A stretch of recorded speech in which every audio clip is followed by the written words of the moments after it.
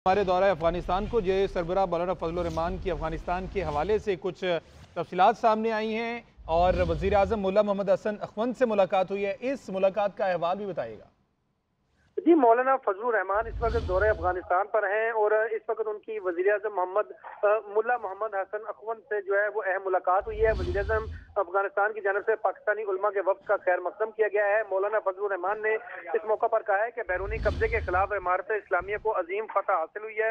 अफ़गानिस्तान के अवाम मुबारकबाद को के अवाम को मुबारकबाद देते हैं। अफ़गानिस्तान में इस्लामी निज़ाम मजीद मुस्तकम होगा, जिसकी बरकत से इसके असरा पूरी इस्लामी दुनिया तक पहुँचेंगे।